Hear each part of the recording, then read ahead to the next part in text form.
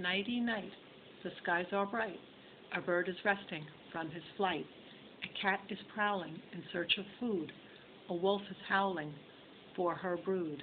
The moon is silvery, large and round, illuminating all she found.